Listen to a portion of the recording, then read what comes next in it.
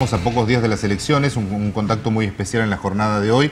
Eh, Luciana, estamos eh, por dialogar con el candidato a presidente de la Nación por Cambiemos, el señor Mauricio Macri. Y ya está en contacto con nosotros y le saludamos a Mauricio Macri. Buenas tardes, le saluda Rafael Guzmán y Luciana Batedaga aquí en la primera edición de Noticiero 7. Hola Luciana, hola Rafael, ¿cómo andan hoy?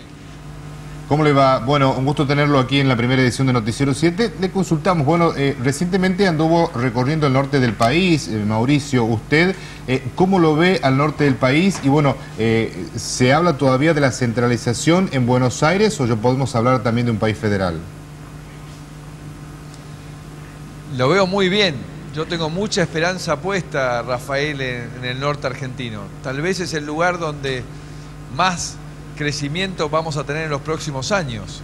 Para eso, no sé si te enteraste, que hemos propuesto y nos hemos comprometido con un plan de reparación histórico que se llama el Plan Belgrano, que con lo que, lo que busca es lograr que haya igualdad de oportunidades en la Argentina y que todos los chicos, nazcan donde nazcan, tengan las mismas oportunidades de crecer y desarrollarse. El Plan Belgrano, no sé si lo escuchaste, pero te lo repaso rápidamente, sí, sí. si me permitís. Perfecto, perfecto. Eso le queríamos de... preguntar. ¿En qué consiste esta, esta propuesta de este plan de, para el norte del país y por supuesto se va a beneficiar directamente a Santiago del Estero? El plan arranca en un compromiso de, de una inversión en un plan de infraestructura histórico, 16 mil millones de dólares, que consiste en desarrollar rutas, autovías desde Rosario, desde Córdoba hasta el norte argentino, hasta Salta, recuperar el Vegano Cargas, el Urquiza, el Mitre, la hidrovía para toda la salida también del norte, los aeropuertos principales, energía, obras de infraestructura para el manejo de las aguas y además 250 mil viviendas porque ahí donde vamos a generar tanto trabajo desarrollando con este plan las economías regionales hace falta llevar viviendas para que la gente vuelva desde donde se fue, porque como usted sabe, Santiago ha perdido mucha gente que se ha tenido que ir a los grandes centros urbanos y queremos que vuelvan y lo más importante, con este plan lo que buscamos y con el desarrollo de las economías regionales es que los jóvenes que nacen en la banda, que nacen en Santiago, realmente no se tengan que ir de su ciudad en, en un lugar del norte por falta de trabajo. A eso hay que sumarle un compromiso con la mejora de la educación pública.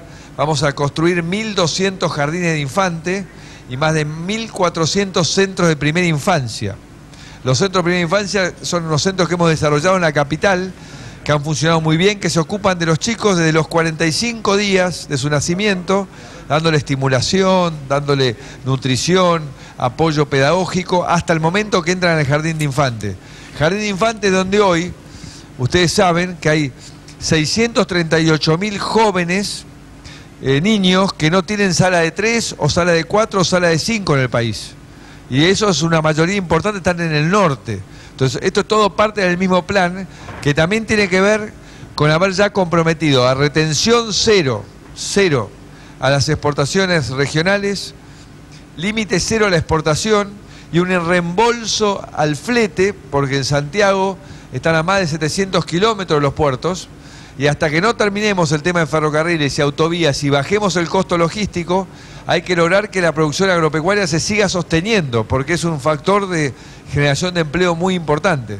Así que todo, y, y después por supuesto, tenemos puesto una enorme expectativa sobre el desarrollo del sector forestal, la generación sí. de energía con biomasa, así también como el aumento del componente de alcohol en naftas para el, para el bioetanol, son todas cosas que tenemos, estamos apostando a desarrollar porque van a ser generadoras de mucho trabajo en el norte argentino. Mauricio, ahora, eh, ¿cómo se va a costear todo esto? Porque todo esto tiene, por supuesto, en materia de infraestructura, tiene un costo. ¿Se tiene previsto ya algún tipo de presupuesto como para poder costearlo? Así es, nosotros apostamos al fuerte financiamiento internacional, el Banco Mundial, el BID, la CAF y todo financiamiento que podamos conseguir, porque cuando uno toma financiamiento para crecer con infraestructura, eso se repaga, eso genera trabajo para la gente, eso genera futuro. Claro. Es lo que hemos hecho en la ciudad de Buenos Aires con las obras de inundaciones, con el Metrobús, con los bajos niveles, con las nuevas escuelas. Hemos generado mejores oportunidades para la gente. Eso mismo hay que hacerlo en todo el país. Bien, mm, Mauricio, le hago una consulta. Eh, último, en estos últimos días se habla del voto útil. ¿Usted cree que se va a dar en estas elecciones, en, el, en cuanto al electorado de la República Argentina? ¿Cuál es la opinión con respecto a esto? Ahí, Rafael, a mí no me gusta la palabra del voto útil. A mí me gusta hablar de, un voto positivo. Acá lo que quedó claro en la encuesta fidedigna que tenemos es la del 9 de agosto, donde el 62% prácticamente de los argentinos dijo queremos un cambio, contra un 38 y algo que sacó el gobierno. Entonces ahora lo que yo les digo es, estamos a 10 días, el 25 de octubre nos jugamos realmente nuestro futuro. Hay lugares como en la provincia de Buenos Aires que ni siquiera hay segunda vuelta. Entonces, si no queremos que el gobernador sea Aníbal Fernández, hay que apostar ahora por una, por una, por una gobernadora de lujo como puede llegar a ser María Eugenia Vidal. Y lo que yo quiero decirles a todos los argentinos, con todo el respeto, aquellos que votaron en Santiago del Estero a De la Sota, a Massa, a Stolbizer, a Rodríguez Sá, que estamos listos para representarlos, que, vamos a tener la humildad, la capacidad de escucha, la responsabilidad de llevar a cabo un gobierno que incluya a todos, que creemos que los argentinos nos merecemos vivir mejor.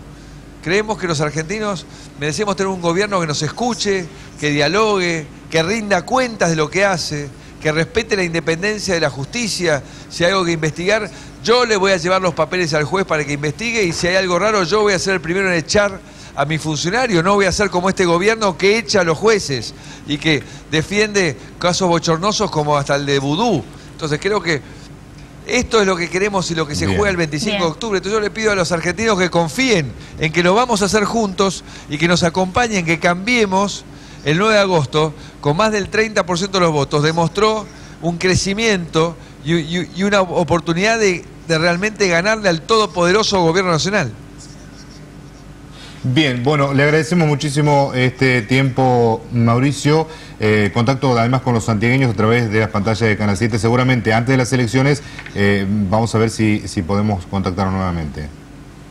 Gracias, Mauricio. Bueno, te agradezco, Rafael. Gracias, Rafael. Gracias, Luciana. Un cariño muy grande a toda la gente de Santiago.